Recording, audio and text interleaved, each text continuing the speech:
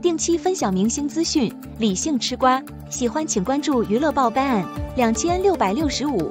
关于杨紫的下一部剧，大家也是基本确定了，正是此前网传的电视剧《一九九爱》。而此前，杨紫也是已经早早到达了广州，很多人都推测马上要开机了。但过去了好几天，却并没有看到这部剧有任何官宣和开机的消息，也是让大家感到非常疑惑。近日，东方卫视开启了二零二三年的招商会，而在二零二三年的东方卫视片单中，电视剧《一九九爱》也是出现在其中，让大家感到非常意外。毕竟这部剧现在都还没有开机，就已经准备招商，实在是太早了。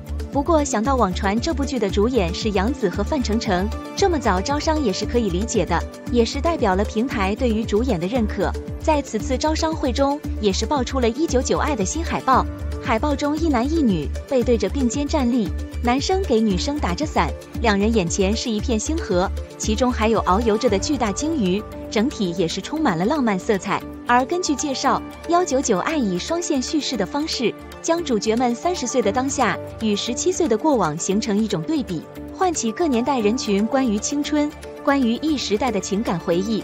可以看出，是一部主打青春和回忆的现代都市剧。光看介绍也是充满亮点，也让人对这部剧越发的期待。不过，既然已经开启招商，意味着离正式官宣和开机也不远了。其后，电视剧《一九九爱》也是正式开通了官方微博，似乎印证了即将开机的传闻。